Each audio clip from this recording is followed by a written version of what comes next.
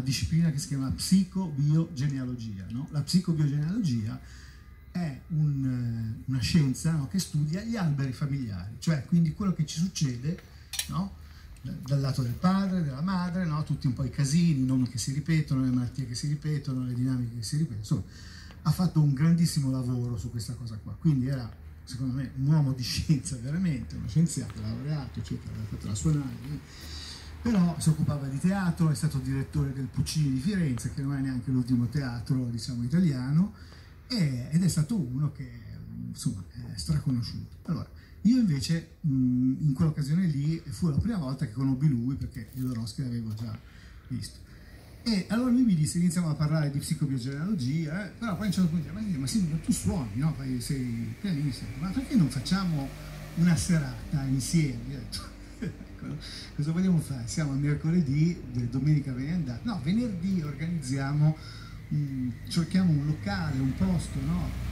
E ho detto, ma eh, ci siamo messi un po' a parlare, detto, sì, la chiamiamo serata di musicoterapoesia.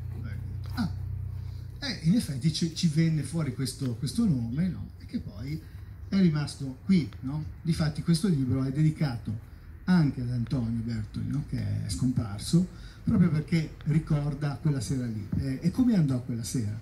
Antonio scrive delle poesie molto belle adesso qua non, non ne cito perché sennò sarei abbastanza lungo.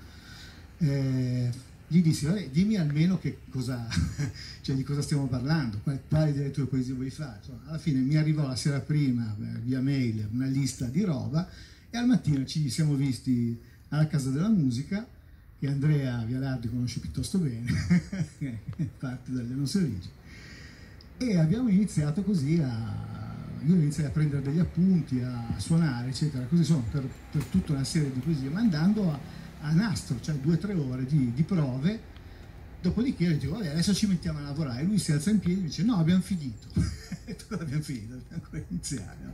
no, no, va benissimo, guarda, stai tranquillo, io ero lì che sinceramente, scusatemi, sono un po' sotto, ho detto, ma... Eh, poi lui è una persona abbastanza conosciuta, abbiamo organizzato questa serata, non eravamo in tempi di Covid, quindi c'era la possibilità di riempire anche abbastanza, anche se questa sera qua un po' di gente c'è. E, e, andò benissimo, andò benissimo nel senso che riempimmo proprio la, la casa della musica, no? ci, fu, ci, vennero quasi una settantina di persone che poi alcuni non potevano neanche, mi sembrava veramente una cosa esoterica. E iniziamo a fare questa esperienza che poi si sarebbe dovuta ripetere perché io avrei dovuto scrivere